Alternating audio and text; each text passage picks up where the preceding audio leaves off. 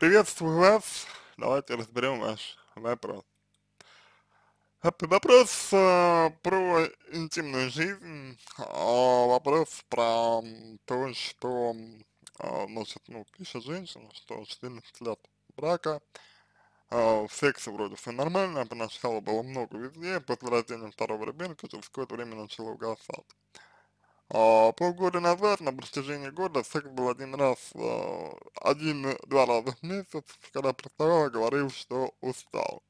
Познакомился со мной, когда мне было, когда во мне было 100 килограмм, за год похудела до 60. Секса было много и часто. На тот момент я тоже поправилась, на, на этот момент я тоже поправилась, но немного, на 15 килограмм. Но ведь он меня такой знает уже, уже во время знакомства. За эти 6 месяцев я изменилась похудела, следил за собой. И дальше описывает все то, что человек делает в интимной сфере. Вот, читать я это не буду. Дальше. А, ну, говорит кто, что, вот, а, значит, а, всегда инициатива ее, да, а он как бы достаточно пассивный, а, и не отказывается, но иногда говорит, что устал. Вот. Я знаю, что если я не пристану, он будет просто спать. По утрам тоже я пристаю, только после разговоров. Но проблема основная, что я залезла в его историю, увидела, что в то время, когда секса почти не было, он не хотел, он смотрел видео соответствующего характера, причем утром, обед и вечером. А подобной истории нет, чисто, это случайно на телефоне осталось. Потом, наверное, смотрел, а, потом смотрел, наверное, стирал. А был утром, после того, когда был секс, он сам пристал ко мне, я увидел, что он смотрел видео прямо передо мной. И, соответственно, как это понимать, я его не возбуждаю, или там грудь больше, или он хочет только такие, или что. А, вот эм, здесь момент такой, что, э, во-первых, а, как бы с точки зрения отношений, э, больше похож на то, что мужчина пытается вас удовлетворить и как бы использует э, как бы стимулирующие средства для того, чтобы быть более, актив, более активным. То есть понимаешь, что как бы у вас темперамент один, у него другой. У вас явно выше, и, соответственно, мужчина э, об, ну, имеет трудность того, что вас он не удовлетворяет. Это первое. Второе. А, у, вас, у вас действительно комплекс, у вас действительно комплекс, и есть глубинная установка, что с вами что-то не так. Иначе бы вы не сравнивали себя с другими. Иначе бы вы были, вы были бы уверены в себе. Дальше, а, у вас есть а, довольно инфантильно в контексте безответственности позиция, что в течение 14 лет можно поддерживать а, темп интимной жизни.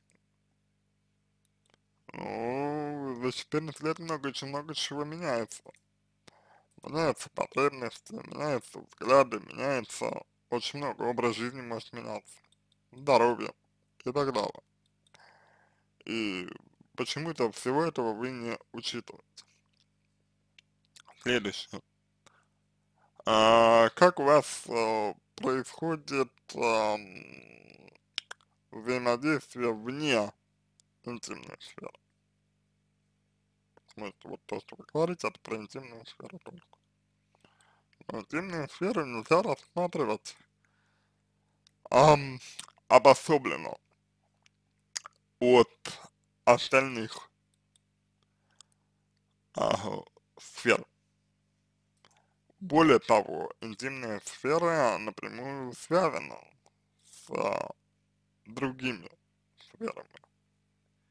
И, соответственно, здесь необходимо разобраться и в этом тоже. От того, как, как вы взаимодействуете в других сферах, многое зависит. Следующий аспект заключается в том, а, что, ну вот, как и сказал мой коллега Кудряшов Игорь Леонидович, как-то вы а, занимаете доминирующую позицию. И выглядит это, к сожалению, э, таким образом, вот по большому счету, выглядит это таким образом, что э, секс уже не столько какое-то вот удовольствие, сколько обязан. Понимаете? Вот. И на мой э, взгляд,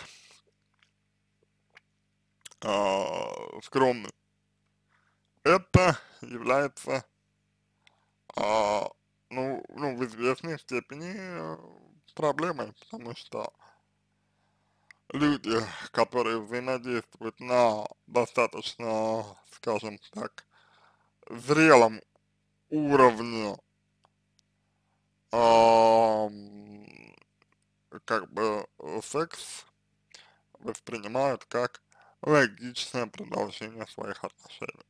У вас же это выделяется в некую отдельную обособленную сферу, которая, исходя из того, что вы написали, она пишете про, про комплексы, является способом для вас, вашего самоутверждения, что является основной проблемой, на мой взгляд. вот а, в этом ключе я бы и хотел бы поработать, то есть с вашим комплексом. Но начать можно с того, чтобы вы вместе со своим мужем обратились к психологу, к, к семейному психологу, и э, поработали э, в этом направлении. Так как бы. То есть, ну, э, чтобы вы вот, э, ну, просто поговорили, как бы, с друг с другом. А, просто вот, скажем так, а, ну, а, через посредника, а, психолога. Потому что это все-таки, ну, не совсем, а, ну, не совсем будет а, обычно общение, скажем так. Вот. На этом все. Надеюсь, что помог вам. А, я бы рекомендовал вам а, уточнить, э, ну вот как это себя саму спросить, да, а вот вам в женской позиции какой а, больше комфортно, да, то есть вам комфортно в такой вот доминирующей позиции или э, как-то вот гипотетически вы бы хотели там, ну, как бы, чтобы, э, чтобы мужчина был более активным. Если вам этого хочется, то в таком случае необходимо давать больше свободы. Ну, то есть, имеется в виду, да, может быть, если вы не перестанете, мужчина будет спать, но сколько это произойдет. А сейчас все указывают на то, что, чтобы вас удовлетворить, мужчины используют стимулятор. Вот. А вы не уверены в себе. Кстати говоря, э, полнота, которая вас была, может быть психологической защитой. Часто это выступает в качестве защиты от угроз внешнего мира. Вот. Здесь хочется спросить, как вы относитесь к критике, здесь хочется спросить, насколько вы уверены в себе, насколько вы реализованы, вот, и почему такое значение придаете сексу и своей внешности. Вот. Это действительно история про комплексы. То есть у вас, я бы сказал, вот в этом смысле не, невроз. Вот. И, соответственно, ну, нужна психотерапия. А, буду благодарен за обратную связь. А, по моему ответу это позволит вам начать работу над собой. Желаю вам всего самого доброго. Обращайтесь.